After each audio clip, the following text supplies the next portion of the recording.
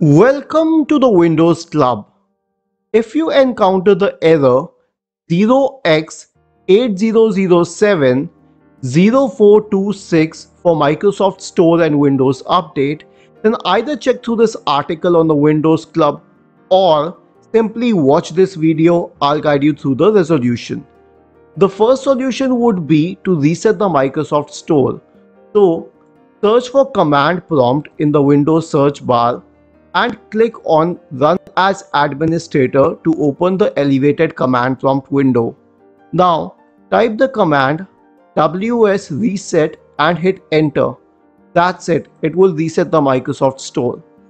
If the issue is with the Windows Update, then you would want to run the Windows Update Troubleshooter. To do so, click on the Start button, select Settings, Scroll down to Updates and Security. Go to the Troubleshoot tab. Click on Additional Troubleshooters.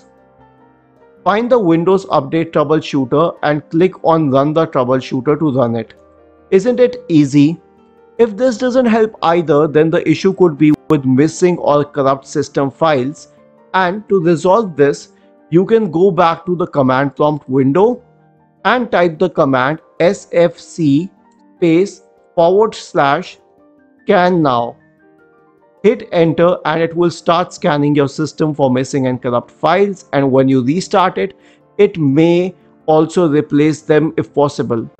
Lastly, you can consider resetting Windows Update components as follows. You already have the elevated command prompt window open. Now go to this article on the Windows Club Again, the link to which has been shared in the description section. Copy all these commands to top uh, services associated with Windows Update. Paste them in the elevated command prompt window and hit enter. Once the services have been stopped, then copy and paste these commands to rename the software distribution and cat2 folders and then hit enter Lastly, you would want to restart all the services. So copy these commands and paste them to the elevated command prompt window and hit enter. It will restart all the services associated with Windows Update and you would be able to use Windows Update or Microsoft Store whichever had a problem as usual.